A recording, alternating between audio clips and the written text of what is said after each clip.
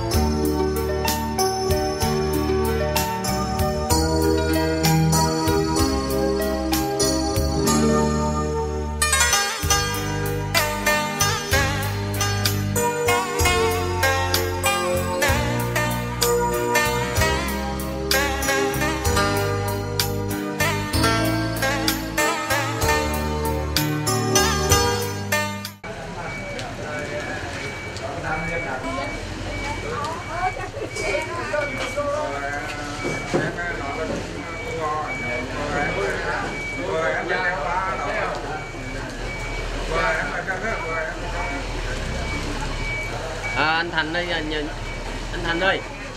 Giờ anh à, giúp người khiêng vào với Dạ rồi rồi cho em ờ, vài chồng anh nói thì đi trong đoàn.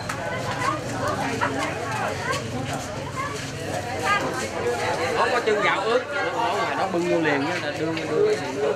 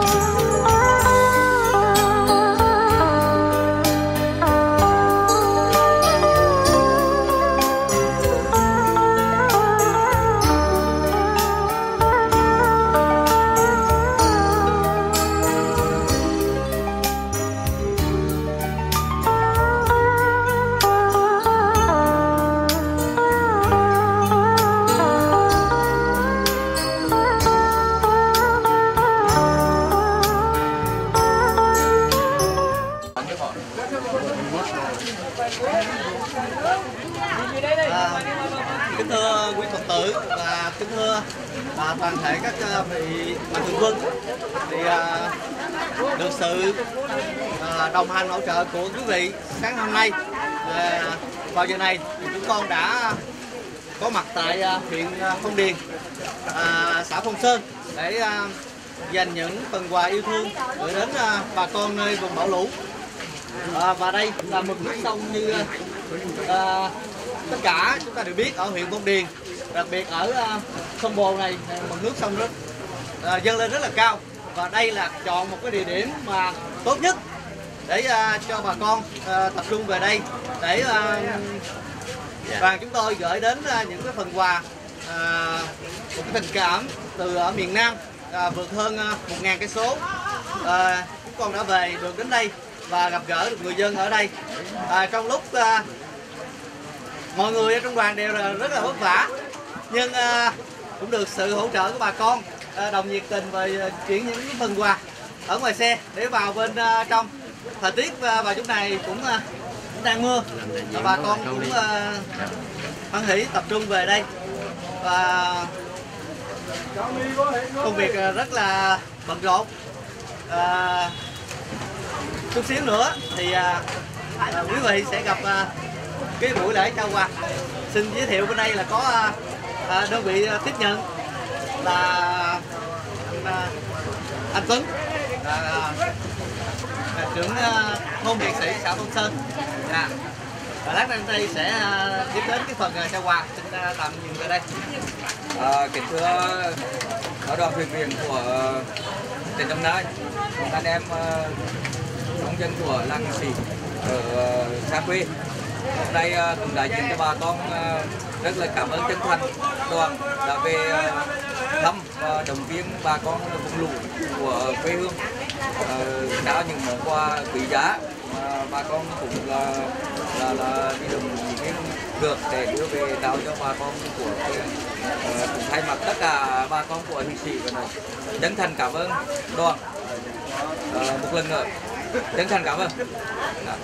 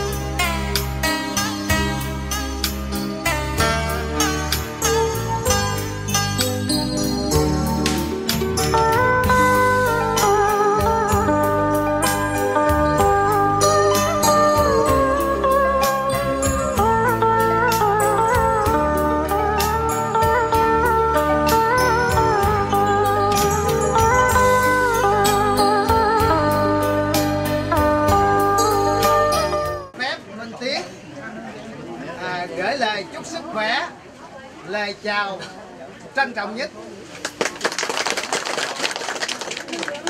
Kính thưa lãnh đạo thôn Hiền Sĩ, xã Phong Sơn. Kính thưa bà con hiện diện. Hôm nay thầy cùng à, toàn thể đội thiện nguyện chùa Sinh Quang đơn vị tại huyện Vĩnh Cửu, tỉnh Đồng Nai cùng toàn thể quý mạnh thường quân, các nhà hảo tâm về lại quê hương hiền sĩ để chia sẻ với bà con do cơn bão tàn phá gây nên làm ảnh hưởng đến đời sống vật chất tinh thần của bà con tại Hiền Sĩ. Với cương vị thầy là người cầu nối để truyền tải tất cả những tình cảm, thân thương của bà con mạnh thường quân tại miền Nam, truyền tải tình cảm đến với bà con miền Trung.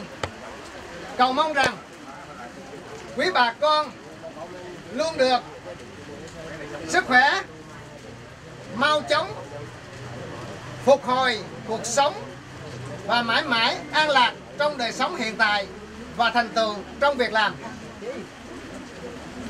Kính thưa quý vị, miền Nam, miền Trung, miền Bắc đồng truyền tải đồng lòng một mối. Trước khi dứt lời thầy xin à, toàn thể đội thiện nguyện quý vị hiện diện khởi khởi ca bài hát. Bốn phương trời. Để chi? Để chúng ta, miền Nam, miền Trung, miền Bắc đồng lòng. Khi bà con miền Trung có bị thiên tai, bão lũ, lúc nào cũng có miền Nam đồng ủng hộ. A Di Đà Phật. Rồi thầy xin khởi xướng. Bà con chúng ta cùng mà khởi xướng nha. Một, hai, ba. Bốn phương trời ta về đây.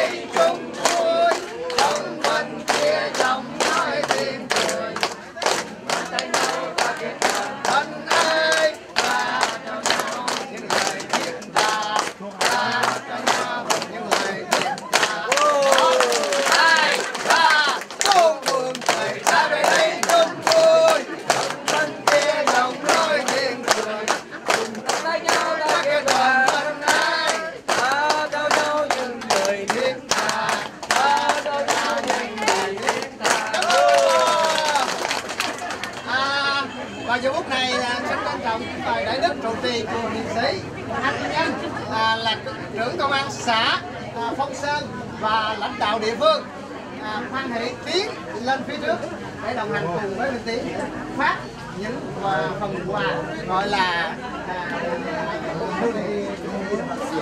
à, xin trân trọng kính mời à, kính mời thầy. Hộp phong bì 300 ngàn. Đó là tất cả tấm lòng của bà con miền Nam gửi đến cô Phật Quan trọng trung Quan trọng trung Cứ nè, cứ nè. Bọc thư luôn.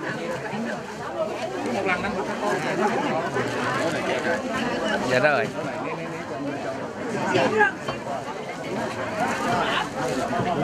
Rồi cái cái cái cái cái, cái này xong rồi đi nè. rồi Rồi, hái cỏ ra ra. con mình ở ngoài á để một lối đi để cho bà con nó lãnh hàng quà xong mình có ngõ nó đi ra Rồi, hái cỏ ra đó đúng không? Rồi, xin cảm ơn thầy. Rồi mấy anh em với phật tử trong đoàn pháp với thầy Đừng gọi nhiều. Rồi, quay. Đưa cho đừng nắp Khỏi làm. Đó, quay đi, khỏi làm. Rồi nhận đi anh. Quay đi, đừng tìm mặt rồi. Rồi, anh là ai ai bắt tặng cái mươi ra đến Để đấy. tôi quay nên hơi đứng ở trong kia. Rồi, tôi gọi rồi. Cảm ơn. Đã ăn bữa năm rồi nè Quan Kim Cam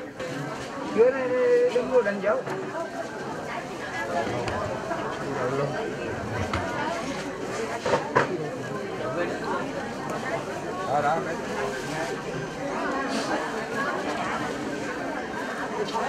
Gió thiên nhiên trễ nữa. Các hàng nữa, nhanh có mình không em làm.